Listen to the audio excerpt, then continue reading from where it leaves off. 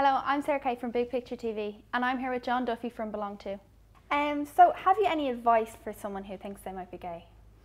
Sure. Well, first of all, I think it's important to say that there's nothing wrong with being gay.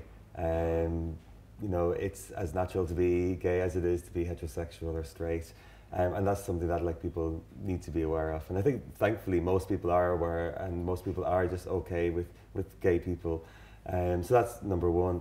I think number two is like, you know, being gay doesn't need to define who you are as well. You're so many more things than your sexual orientation, no more than, you know, a gay person is more than their sexual orientation. So it's important to, you know, recognize that as well. Um, I suppose it's it's a it's an odd question in some ways because you know like um, you know some people might be finding it difficult to be gay and accept themselves.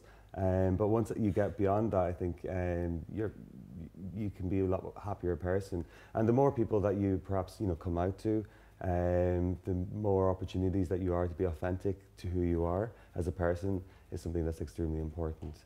Um, so I think, yeah, like be yourself, you know, you shouldn't let yourself be held back by your sexual orientation no more than, you know, someone that's left-handed should hold themselves back for, for being left-handed. Okay. Um, so what advice would you give someone for coming out? So if you are finding it difficult to come out and tell somebody, I think the one good step to take would be to perhaps um, talk to someone that you're closest to, whether that's a friend, a family, mer- uh, family member, um, or someone that you trust, perhaps a youth worker, a teacher, um, someone that's close to you in your life, um, someone that you think will, you know, have a good um, reaction to it, someone that's not going to judge you. So most people, I think, would have someone like that in their lives. So if you feel it might be difficult to um, talk to someone face to face, perhaps you could get in contact with ourselves and BelongTo youth services, or indeed, like you know, many other services around the country. Um, Tallaght, for example, um, Foroige and Tallaght has their own LGBT project, so perhaps you could go to them if you're finding it difficult to come out.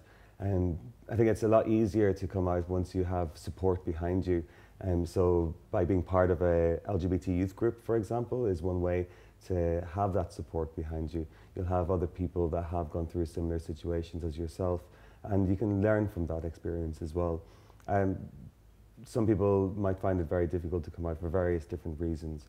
Um, but I think it's important to let people know that, you know, coming out isn't perhaps as difficult in some ways as it was in the past. Um, when I was younger, it would have been a totally different situation for people coming out.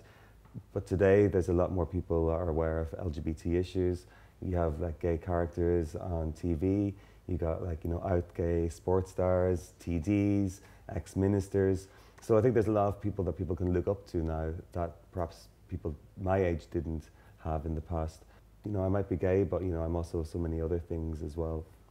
Um, so you were saying that um, go to a friend or someone you trust. Being that friend or somebody that they go to, um, what advice would you give them on giving advice exactly? Well, I think first of all, you know, it's important just to listen, listen to what your friend is saying. Um, I suppose, like, you know, don't react badly. Um, uh, it's important to be led by your friend as well that's coming at you. You know, do they want support?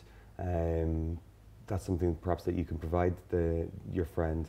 And do they want it to, you know, the fact that they're gay to be something that you know and not everybody else? So it's important to, you know, perhaps not tell other people because it's important for people who are gay to be able to um, take ownership of who they tell and who they allow to know that their what their sexual orientation or indeed gender identity is if, if in the case of a trans person. Um, I suppose, you know, if you do have questions, you know, be sensitive around any questions that you might have. Um, I don't think it's very helpful to, you know, ask things like, you know, oh, are you sure, you know, if, how do you know if you haven't got a, uh, had a girlfriend in the past or, or whatever it might be, those things may not be very helpful, but just be open and, um, and you know treat the person as you would have treated them the day before. You know, they're still your friend. They're still the same person. The only thing that's changed is the fact that you might know one other detail about them. Okay. Um, so, should a young person be cautious about um, labeling themselves?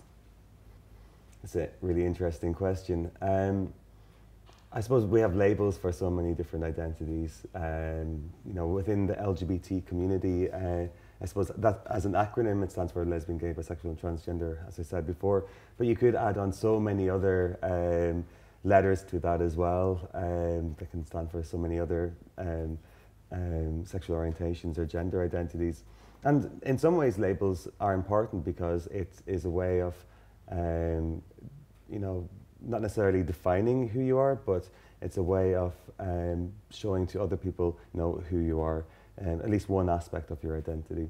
So in some ways, it, it can mean that you feel more part of a community if you're, you know, if you do label yourself as gay or as, as bisexual or whatever it might be.